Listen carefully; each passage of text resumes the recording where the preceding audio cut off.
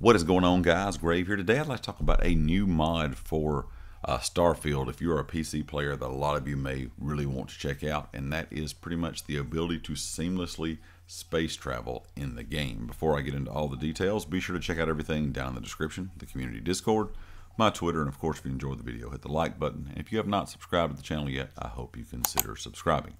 This is a new mod called Starfield Slower Than Light. This was created by 105 Gun, and it's simply a workaround for seamless interplanetary flight. In the base game, seamless travel between planets in the same star system is possible, but of course it takes several hours as your ship's not fast enough to cover those extreme distances.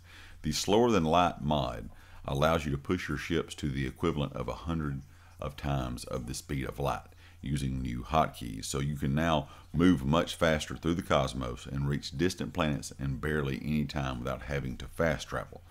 And I think this will be great for people that want to stay immersed in the game. You don't want to, you know, have to go out, click on a planet to travel to one area to be able to get to another area. As we know in, in Starfield, that is one thing that was a bit annoying, I think. The space travel did not really live up to what I think a lot of people were expecting if you want to go to one area on the map and you're too far away, you'll have to kind of hop around to different planets to be able to get to that area. So you're just kind of fast traveling and clicking on planets, you know, two, three, four, whatever the case may be, however far you're trying to go before you can get to where you need to go. And if you want to kind of stay immersed into the game, into that, you know, space kind of travel immersion, uh, this new Starfield Slower Than Light mod will definitely be something that I think you would like to check out.